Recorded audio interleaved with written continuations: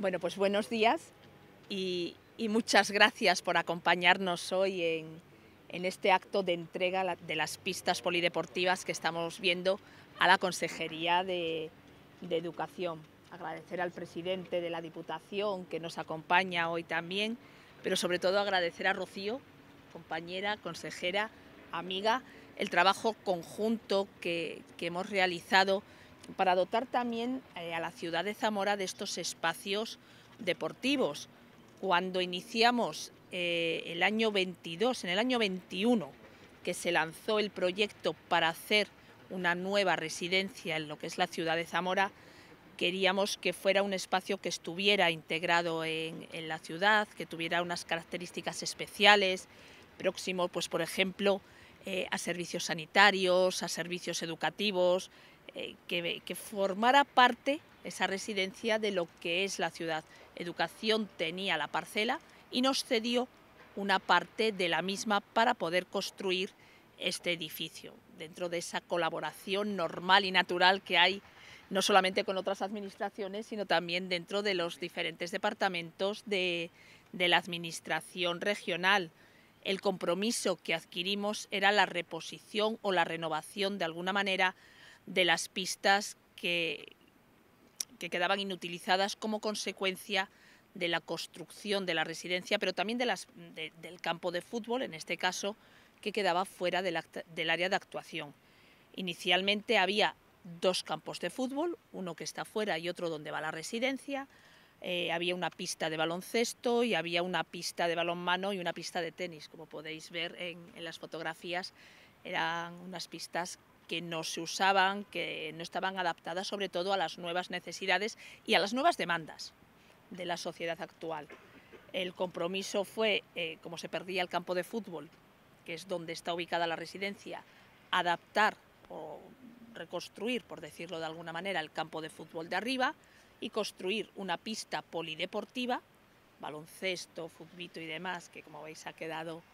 estupenda, y eh, dos pistas de pádel, que en ese momento es lo que más demanda tenía. La inversión han sido 655.000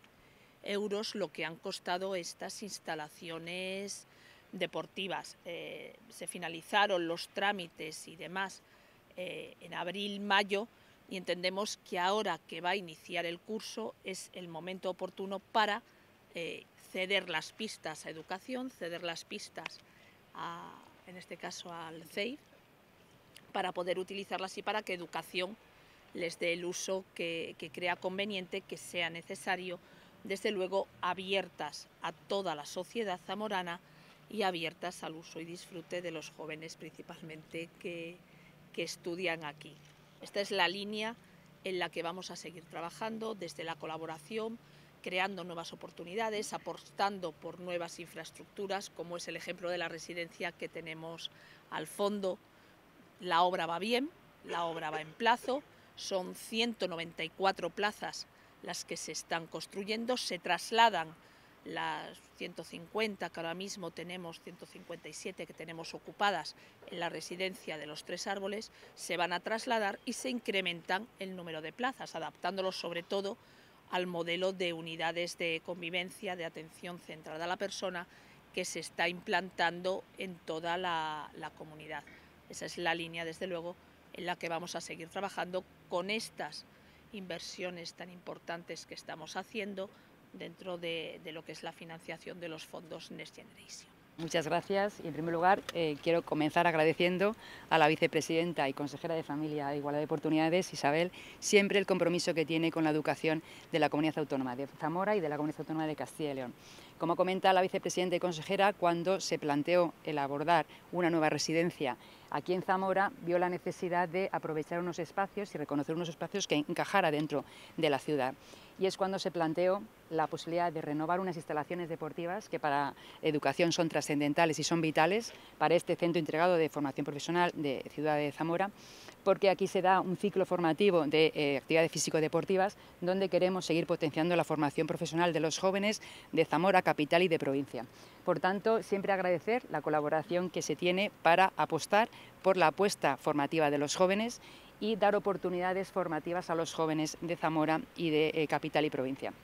Unas enseñanzas, la formación profesional, que como saben sigue creciendo, sigue creciendo en demanda, sigue creciendo en oferta y queremos seguir eh, mejorando las infraestructuras y las instalaciones. Como podéis ver, estas instalaciones que se ceden ahora en uso educativo, pero como dice también la vicepresidenta y consejera, no solamente van a ser para uso educativo, sino que también van a estar abiertas a posibles convenios con clubs y federaciones deportivas, como se hacen con otras instalaciones que se tienen aquí, o sea, aquí nos consta que hay convenios pues, con clubes deportivos y queremos seguir manteniendo esa colaboración y esa estrecha formación siempre que sea compatible con la formación, evidentemente, eh, docente y pedagógica de los ciclos formativos. Por lo tanto, es una apuesta muy importante de dar oportunidades a los jóvenes, dar oportunidades en formación y en deporte, algo que es trascendental y que tiene que ir siempre unido. En esa apuesta por la formación, como saben, este curso en Zamora hay siete ciclos formativos nuevos, concretamente en este centro son dos los que se implantan, y hace también que el alumnado de formación profesional, concretamente de Zamora, cuando compite en, formaciones, por ejemplo los Spine Skill, sean medallistas, sean uno de los aspectos claves que seguimos apostando por la calidad y la excelencia de la formación profesional. Por tanto, es un claro ejemplo de cómo la colaboración estrecha la, apuesta clara por la educación y por la formación, por el deporte, por los servicios sociales, como comentaba la vicepresidenta, consejera y querida Isabel, es una clara línea de trabajo de la Junta de Castilla y León para seguir avanzando en oportunidades y para seguir avanzando en empleabilidad y en mejores eh, calidad de vida para, para, en este caso, los jóvenes y la sociedad en general.